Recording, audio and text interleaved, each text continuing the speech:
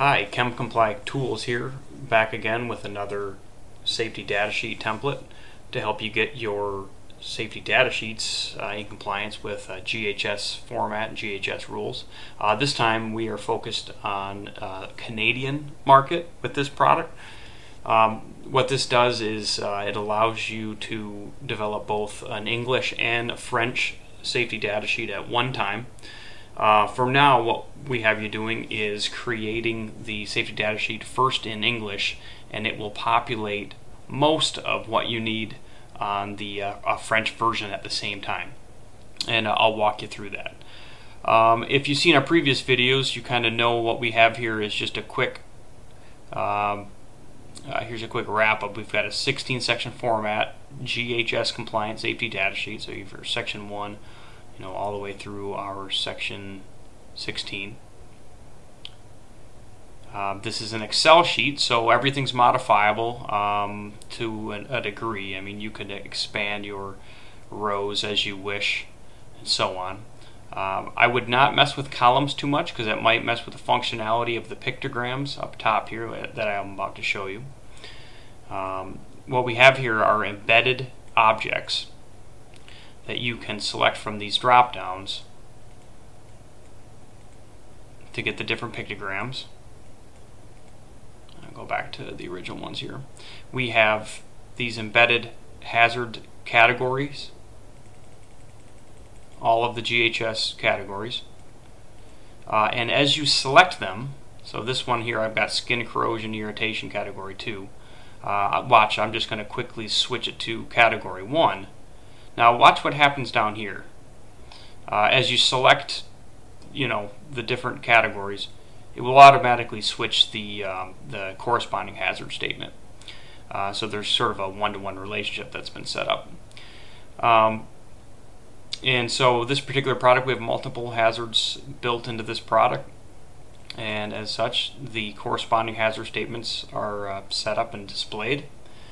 And precautionary statements, uh, as you may have seen in our earlier videos, uh, these are separate. Um, they don't really connect to anything. Uh, you know, you can you select the ones that you know apply to your product.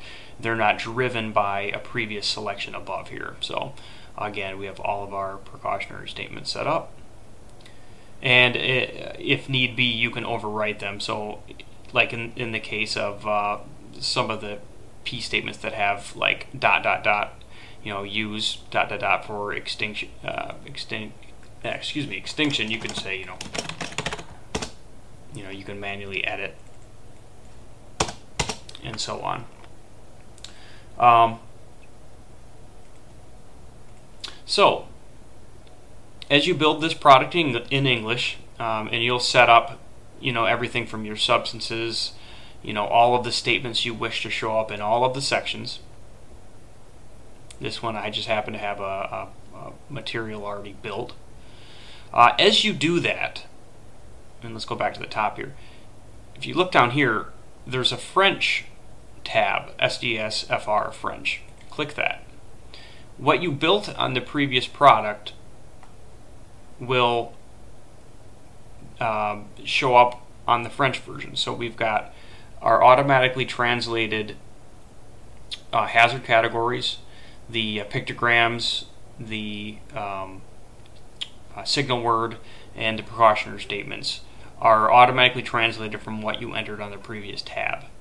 Um, so that goes all the way through the P statements. Now, what does not translate are all of the rest of the statements.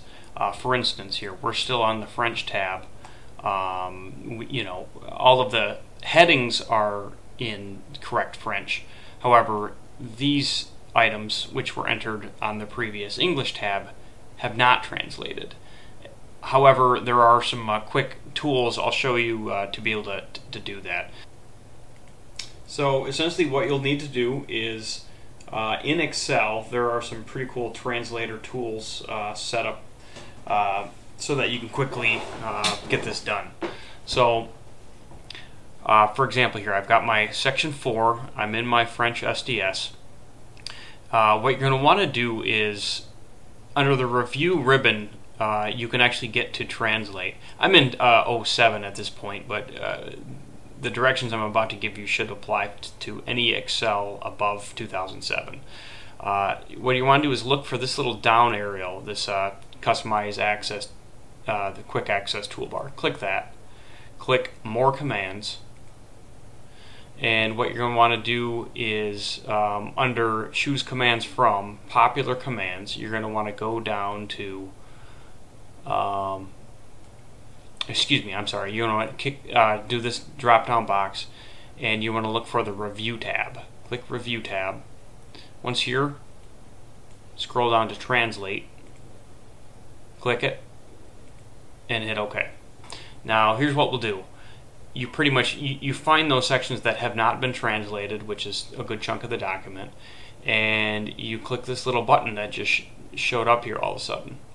So you click it, uh, you tell the system, I had already told it in this instance, but you, will choose the uh, language you want. In this instance, we want French. Um, and uh, you click the cell and then hit insert, and it'll automatically insert. Now, what you can do is just start cycling through. Click this button again, insert. Click, insert, and so on you know, it's it's a little bit time consuming, and uh, if you are a company that has hundreds of products, you have to do this through. You know, certainly this could be a little bit laborious, and you might want to look at a larger, more complicated piece of software. Um, but either way, this gives you the quick flexibility to be able to, uh, you know, make a product on the go, and doesn't, you know, you don't have to lock down into some uh, uh big, complicated uh, database type uh, system. Okay, so now that I've shown you how to translate the document, um, and again, you can size rows how you wish. You know, if you need some room, for instance, right here, you know, you, you can make the document look how, how you wish. Um, I would once again say be careful with resizing any columns. That could cause some functionality problems. Um, but for the most part, rows shouldn't, uh, uh, resizing of rows shouldn't do much. Um, and, and you can feel free to do that all you want.